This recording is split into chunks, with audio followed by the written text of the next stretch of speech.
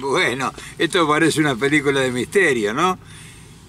Y tiene algo de misterio esto, porque el video de hoy tiene algo de misterioso porque va a hablar de, no voy a decir del periodismo independiente, sino voy a hablar de los comunicadores independientes, de los youtubers, de estos cronistas que somos unos aventureros en la noticia, en la comunicación.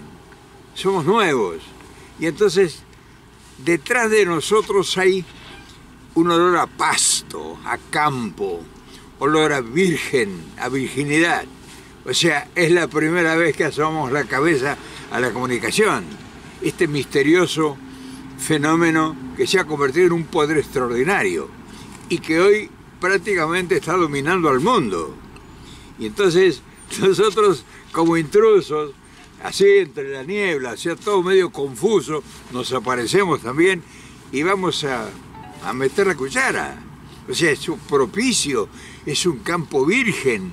O sea, hay un montón de gente como nosotros, improvisados, así, con voluntad, con eh, violenta arremetida, sin reglamentos, sin leyes, es solamente con el beneplácito de una corporación que nos domina porque nos tiene controlado youtuber.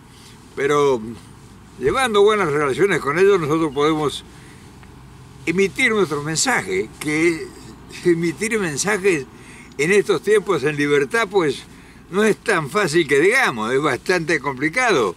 Así que hoy este video va a ser un video de conversación entre amigos, porque realmente lo que estamos hablando somos amigos.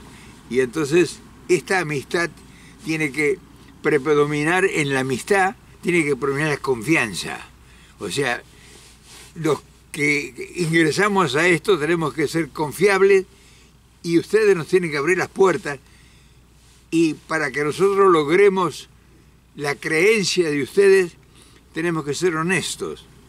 Es difícil la cosa, pues difícil no mentir, sobre todo si afortunadamente a nosotros no nos paga nadie, entonces no tenemos compromiso con nadie.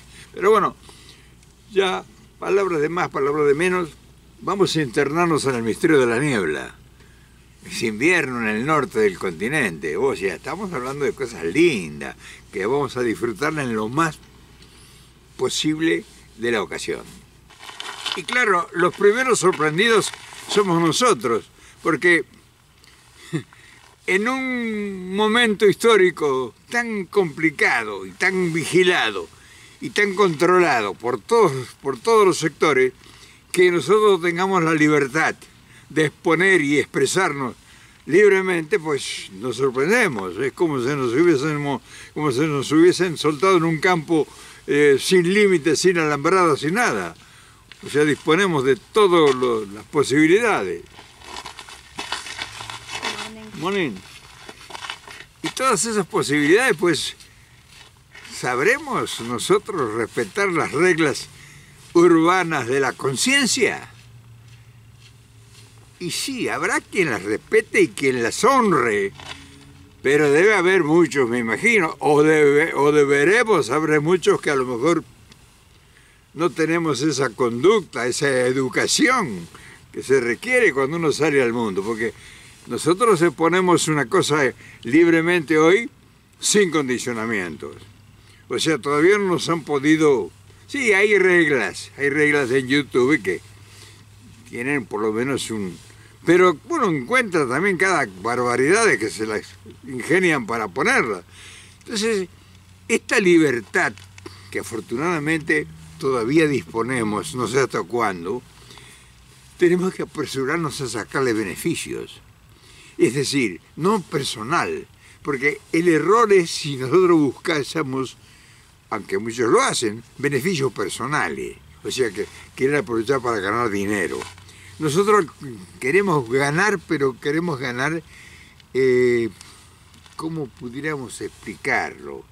Queremos ganar confianza para que si tenemos alguna virtuosa capacidad o alguna, digamos, no digamos maravillosa, sino una modesta eh, sapiencia o aprendizaje, lo podamos transmitir y podamos comunicar y podamos expresar, por lo, no vamos a cambiar el mundo, sino nuestro mundo. O sea, nosotros podemos hablar con mucha propiedad de nuestro mundo. Y claro, eh, hay muchas maneras de interpretarlo también. Y además se presta para especular. O sea, yo pudiera usar esto para decir, bueno, o sea, dar a entender que yo, mi mensaje es inapelable. Y claro, habrá quien lo acepte, que no, alguno diga, este viejo ya está de retirada y lo que quiere es permanecer todavía eh, actuando y que lo tengan presente. Y otros que dirán, qué bueno que este señor de tantos años tenga la honestidad de hablarnos con un lenguaje que nosotros podamos entender y que vemos que no está especulando. Pero siempre va a haber alguien que va a decir, no, pero no especula, pero eh, tiene mucho yoísmo, eh, como alguien me puso hace unos días en el, en, el, en el comentario, que eh, yo individualizaba mucho el nosotros.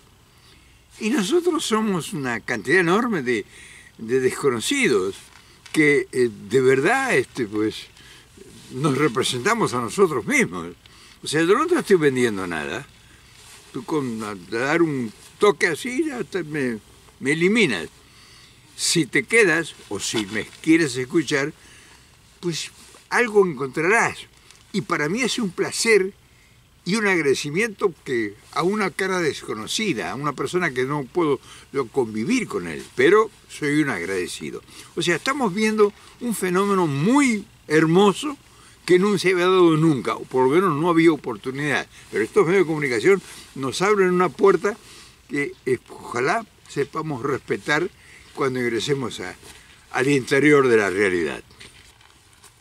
Y acá es cuando llega la pregunta, porque nosotros tenemos siempre algo muy importante, que nosotros hablamos de lo que casi no habla nadie y que son de nuestros intereses. La gente habla de nuestros problemas, los youtubers o gente que está en la comunicación independiente se queja, se lamenta, se carga culpas y, en fin, siempre buscando que eh, resaltar lo que nos han agredido las, o los, nuestros padecimientos. Pero muy pocos tienen propuestas. Fíjate qué, detallazo. Acá el tema es aprovechar estas oportunidades para tener propuestas. Por eso la importancia de las ideas. O sea, si yo te hablo de la pobreza y de, los políticos y de que la corrupción y de los ladrones y de qué sé yo, mil, eh, me sumo al coro generalizado de gente que se queja y se lamenta. Pero si yo aparezco con alguna propuesta, y esa propuesta tiene visos de que te va a beneficiar en algún momento de tu vida o que va a beneficiar a tu país o a tu sociedad y que puede realmente ser de tanta trascendencia la propuesta que van a tomarla, te la van a querer robar, eso sí, te lo advierto desde entrada. Cuando tú te escuchen una buena propuesta no va a faltar algún de estos improvisados que, siempre, se quieren colgar de cualquier tren que pasa, que te la quiere quitar déjalo que lo hagan, déjalo. Déjalo que te, haga, que, te, que te ninguneen, que te tiren para un costado, que te sacan de circulación, déjalo. Tiene el vuelo cortito como la perdiz, no tiene argumentos, o sea, no tienen capacidades. Te robaron la idea por la oportunidad que tienen, a lo mejor porque están en el poder o lo que sea. Acá la cosa es dejar que juegue todo, pero uno con la propuesta tiene que ser muy bien estudiada y determinante, que tiene que tener o estar direccionada a algo que beneficie, si es posible, a tu país. O sea, tu sociedad debe ser la prioridad, tu sociedad a la cual tú perteneces es como tu madre, es como lo más querido, lo más amado, porque ahí tú puedes desarrollarte y puedes crecer entre ellos con grandeza, porque tu sociedad cuando tú empiezas a destacarte te da el lugar específico que tú necesitas, si no, no lo vas a conseguir. No lo puedes comprar. el que quiere, adquiere un lugar por comprarlo cuando se acaba la gasolina, se apaga el motor. En vez de el que crece con ideas y con propuestas, y siempre esas propuestas están encaminadas hacia un objetivo, tienes para largo, hermano, tienes para largo. Entonces, este caso es, por ejemplo, hay que hablar de cosas que a nosotros pues nos sorprenden y que nos están beneficiando o que nos van a beneficiar, o cosas que se están haciendo. Yo ahora voy a hablar de, de algo que se está haciendo. Lo voy a hablar como un ejemplo, porque esto que es tan importante de lo que vamos a hablar acá, ahora, dentro de un rato, dentro de un momento, ¿ah? tiene una importancia extraordinaria para la idea de lo que nosotros estamos, veníamos hablando desde hace tiempo del continentalismo. Porque una de las cosas más importantes que hay que tener en estos casos es coherencia. No puede ser como un loquito que todos los días aparezca con ideas nuevas, sino coherencia. Puedes distraerte un día o dos, pero siempre retomar la coherencia de tu destino, de tu objetivo. No te olvides que un general que está asignado para tomar una ciudadela, para tomar una ciudad o para tomar un, determinado lugar estratégico, puede distraer a todo el mundo, pero la coherencia de su destino pues, es muy, demasiado importante. Por eso que el comunicador independiente es una especie de francotirador. O sea, en el lugar que menos lo esperen está él apuntando y está él generando un acontecimiento. Y si uno tiene la suerte, porque también hay que contar con la suerte, como decía Napoleón, fulano de tal, ya lo he contado esta historia, creí creía en la suerte. Y Sócrates, que eh, a través yo de, ahora estoy leyendo la vida secreta de Sócrates, o sea, un, uno de sus alumnos cuenta que uno de los factores más importantes del ser humano que es la protección de los dioses. O sea, la suerte. La suerte está guiando en alguna medida, por lo menos esa es la creencia mayoritaria de gente que sabe más que nosotros, de que el factor suerte es muy importante. Pero el factor suerte hay que provocarlo, porque si yo me quedo sentado en, en una poltrona en mi casa, es difícil que me golpeen la puerta para traerme la suerte. Si uno sale a, exponerse y si uno se expone públicamente y tiene la voluntad incluso de, de arriesgarse al ridículo, es muy posible que la suerte también sea, se congracie contigo, o se congracie, no sé cómo se dice exactamente, y produzcas un acontecimiento que puede beneficiar, ahí está, ahí empieza lo que te decía de la coherencia. Puede beneficiar lograr el objetivo. Nosotros estamos empeñados este, desde hace muchos años. No teníamos la capacidad de, difundirlo porque no teníamos, no existían técnicamente, eh, científicamente, técnicamente, mejor dicho, más que científicamente, a pesar de que todos estos inventos detrás de los inventos es una ciencia, no teníamos medios de comunicarnos. O sea, ha habido gente capaz, muy capaz, con ideas brillantísimas, mucho antes que nosotros, que han dejado muestras en el papel escrito, pero no es lo mismo que poner la cara y expresar una idea. Entonces, este, esta oportunidad de que tener estos medios de comunicación, por ejemplo, el youtuber, o el cronista tiene una arma extraordinaria en su mano. Y entonces nosotros que estamos, como te decía o como te intenté decir, abocados a llevar una idea de continentalismo por la necesidad que tienen nuestros países.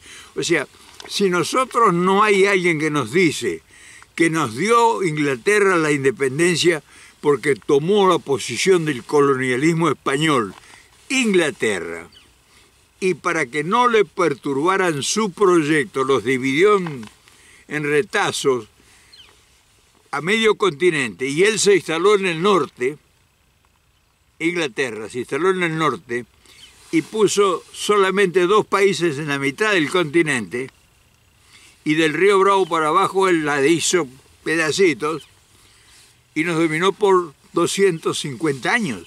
Nos está dominando todavía. Entonces, cuando uno habla de continentalismo, tiene que saber de qué está hablando.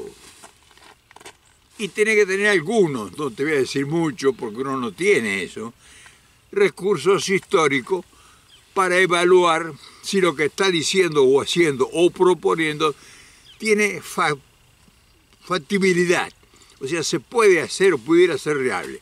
Hoy, el hecho de hablar de continentalismo y tener la oportunidad de expresarlo y explicarlo, tiene mucha, eh, digamos, posibilidad de ser aceptado, porque el que no nos ha permitido a nosotros desarrollarnos o que nos expongamos y que realmente nuestras ideas vayan hacia adelante, hoy está ellos peligrando, que es la presencia de China. O sea, la presencia de China en el continente es un, es un talón de Aquiles que le ha surgido al imperialismo financiero mundial. Entonces el imperialismo financiero mundial no es que va a cambiar, sino que en vez de perderlo todo, como es posible que lo pierda con China, se va a ver obligado, todavía no lo hacen, ¿eh? no te creas, se va a ver obligado a recurrir a fortalecer su frente interno. Y qué mejor que su frente interno seamos nosotros que estamos en el continente. Por eso es la posibilidad de que nosotros logremos el continentalismo. No porque seamos bonitos ni simpáticos, ni le despertemos la admiración a los ingleses o a los americanos. Ellos no les interesa lo que nosotros somos ni cómo pensamos, pero sí les interesa resguardar sus intereses. Por eso que el continentalismo que nosotros estamos proponiendo tiene una visa, una posibilidad de que sea realidad. Y en eso hay que estar insistiendo y no cejar de insistir siempre en lo mismo. Pero bueno, yo quiero mostrarte algo, o sea, una obra importantísima que se va a empezar, o se va a continuar haciendo en un lugar estratégico de México, en el norte de México, cerca de la frontera con Estados Unidos. Y es un puerto extraordinario que viene a reemplazar un puerto grandísimo que es el puerto de Los Ángeles y que está en tierras latinoamericanas y que lo está desarrollando México y que ahora acaba de decirlo la presidenta eh, Claudia Sheinbaum que va a ser extendido para convertirlo en uno de los puertos más importantes del continente. Nosotros tenemos conocimiento de que ya los chinos hicieron un puerto en Perú, acaban de inaugurarlo, que es impensado hace 10 años atrás.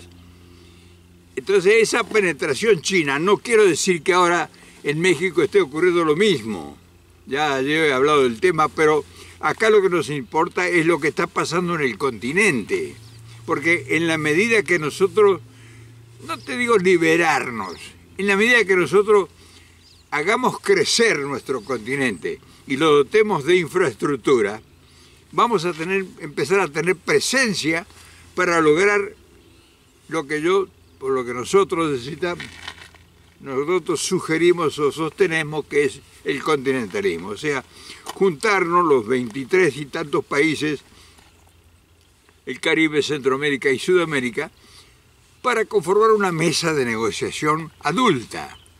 Va a ser necesaria, lo nuestro no es un tiro al aire, va a ser necesario y Estados Unidos se va a tener que plegar a esto porque le conviene a Estados Unidos. No puede combatirlos a nosotros y querer ser la reina de los mares, para nada. O sea, este momento, con la presencia ya de China tomando el continente, pues no pueden hacerse los exquisitos. O sea, esas fanbarronadas o esas balandronadas del presidente que va a entrar ahora, pues no van a durar nada, porque la realidad no le va a poder permitir que haga eso. Castigar a, los únicos socios confiables que puede tener, que es Latinoamérica. Pero bueno, yo quería mostrarte esto. Vas a ver, este es un video que lo voy a mostrar, y eso te va a decir a ti la importancia que va teniendo México cuando yo te digo por qué tiene importancia México. México arranca la construcción del puerto más grande del continente americano.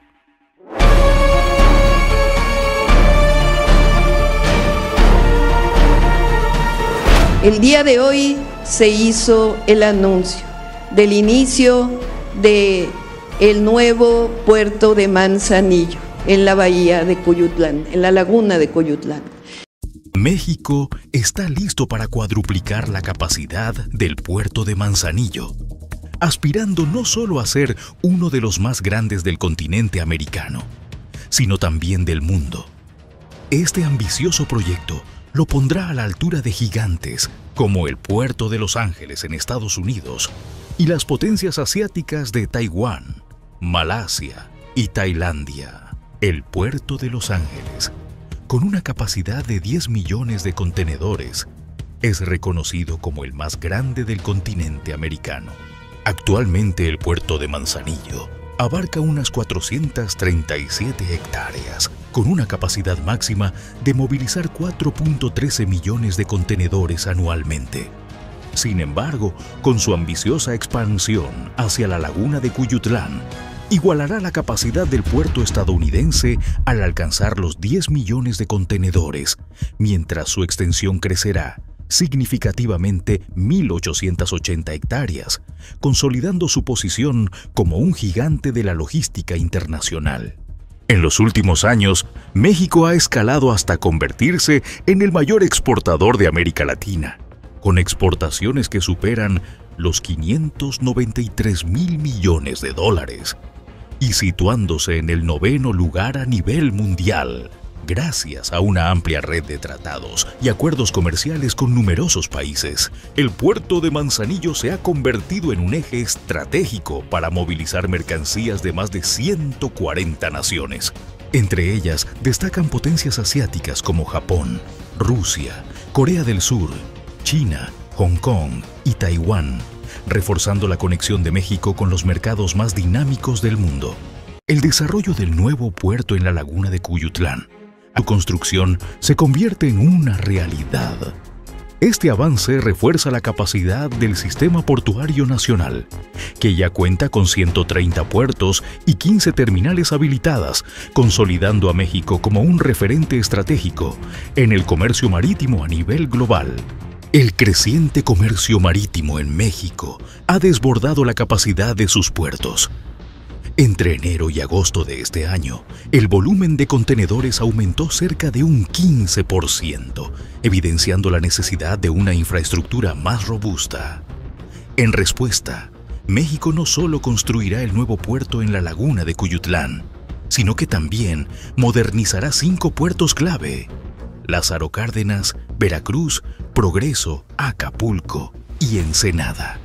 Este ambicioso plan, respaldado por las principales líneas navieras y actores del sector, busca optimizar la eficiencia en el manejo de mercancías y consolidar al país como un referente logístico global. El puerto de Manzanillo ocupa actualmente el tercer lugar entre los más grandes de América Latina, superado únicamente por el puerto de Colón en Panamá y el puerto de Santos en Brasil.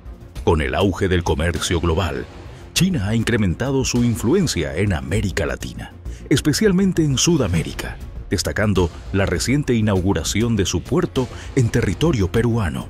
Este puerto en Chancay es propiedad en un 60% de la estatal china COSCO Shipping Group y en un 40% de la minera privada Volcán.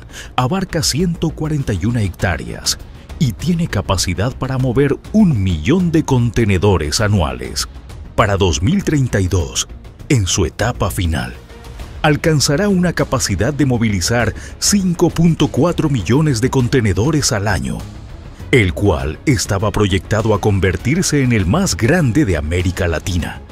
Sin embargo, el nuevo puerto de Cuyutlán será el doble de grande, ya que este megaproyecto tendrá una capacidad de 10 millones de contenedores, el doble del puerto chino Chancay, y está previsto para completarse antes de 2030.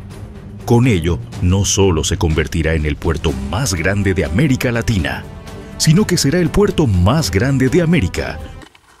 Y aquí es cuando, como te decía antes, plantarse frente a las barbas del imperio de Estados Unidos, de este país, y hacerle un puerto de la dimensión del puerto de Manzanillo, este, esto que acaban de ver ustedes, no ha tenido difusión esto demasiado como realmente ameritaría que todo el continente sepa qué está pasando en México.